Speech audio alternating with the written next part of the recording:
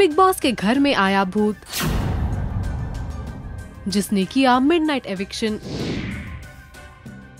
सभी घर वालों के उड़े होश, चीख पुकार से गूंजा बिग बॉस का घर। माहिरा या आरती, किसका सफ़र हुआ खत्म?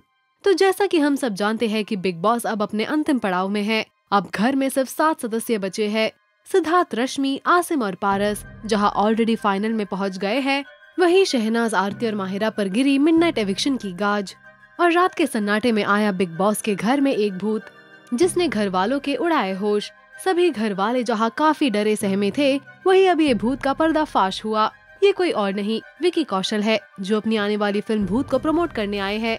तो जहाँ पहले विकी ने सबको डराया, पर असली डर तो मिडनाइट एविक्शन से हुआ। जब विकी ने घर वालों को बताया, आज किसी का सफ़र बस कुछ ही देर में खत्म हो जाएगा, और खबरों की माने तो आरती और माहिरा पर खतरा था। पर मिडनाइट एविक्शन में माहिरा शर्मा का हो गया एविक्शन अब ये बात कितनी सच है, कितनी झूठ, ये तो रात के एपिसोड के बाद ही पता चलेगा। आपको क्या माहिरा का इतना आगे आके एविक्ट होना सही लगा?